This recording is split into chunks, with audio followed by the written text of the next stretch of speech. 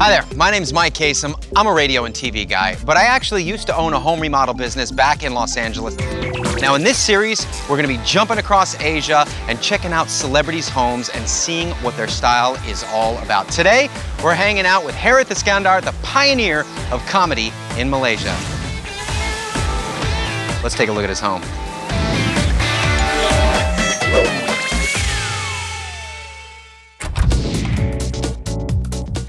Harith, Hey, Mike. how are you? I'm good. How you doing? I'm doing fantastic. Good. Look at the little one. I know. I, I just found this outside. This I thought I'd take him in.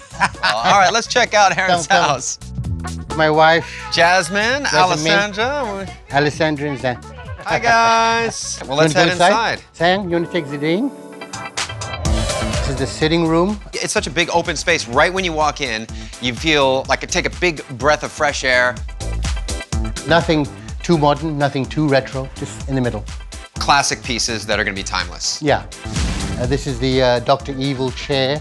I bought that for my wife because she's the queen of the house. I'm not saying she's evil.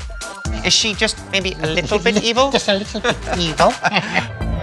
I've always wanted a fish tank. Every time I walk in, Yeah. I just, it's- ah, this is, this is my moment of, It's a zen, relaxed moment, Zen, relaxed right moment. up until the kids start screaming. exactly. I love this art piece from a guy called Niza Kamal. My wife liked this more than I did because she likes things which don't really mean anything, Okay. which is why she chose me. So, on the ground floor, moving up to the first floor. This is uh, Alessandra's room. Well, you know this is a girl's room right when you step in, and the colors are so much fun.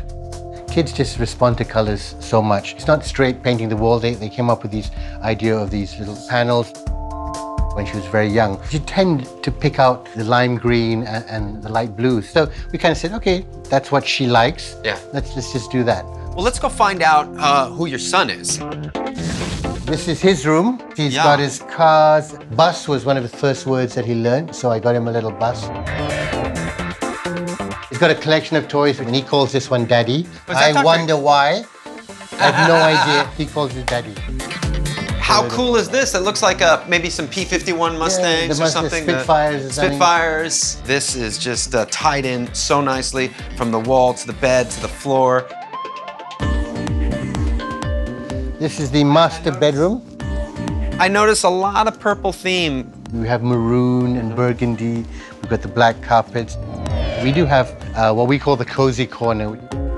Instead of just sitting on the bed, you actually have a corner where you can sit down. You can have a, a drink or two here. What- This is uh, what's what- happening here? It's turned into the TV room or family room. You got to take a look at this. Up in the ceiling, so much layers and texture and depth. And then to have windows up there so even more natural light is coming in. Not many people have noticed that. And not to mention more airflow from another balcony.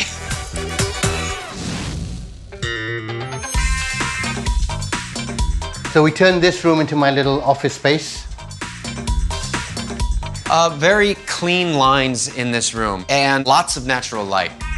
The sun actually comes up there and it comes over the house. It never shines directly, Directly in. in. This was the biggest stand-up comedy show ever in Malaysia. 9,000 people. Oh, there that- it is. There it is. From behind. That's me. That was uh, an incredible moment.